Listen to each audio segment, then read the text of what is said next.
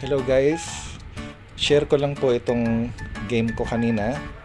So please like this video at kung bago ka pa lang sa channel ko, please subscribe for more videos. So abangan nyo po ang ginagawa kong video na paano manalo sa chess part 3. Thank you!